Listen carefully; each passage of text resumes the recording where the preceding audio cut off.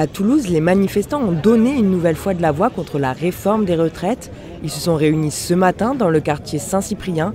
Pour cette restauratrice, tout le monde est concerné. moi, je suis pour la taxation des super profits. Je suis chef d'entreprise et je considère que tout le monde doit faire un effort pour que le collectif l'emporte et, que, pas chacun pour soi.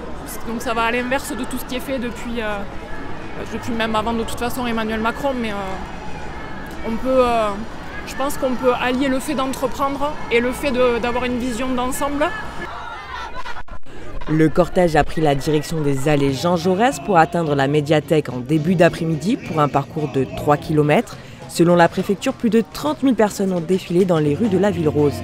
Plusieurs syndicats étaient présents, parmi eux la CGT, Force ouvrière, la CFDT et même des syndicats étudiants, des jeunes qui eux aussi se sentent concernés par cette réforme.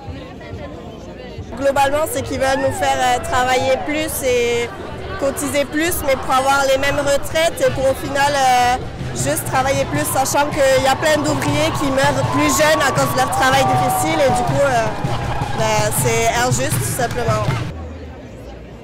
Pour le moment, les syndicats n'ont pas appelé à reconduire le mouvement, mais les manifestants restent bien déterminés à stopper la réforme des retraites.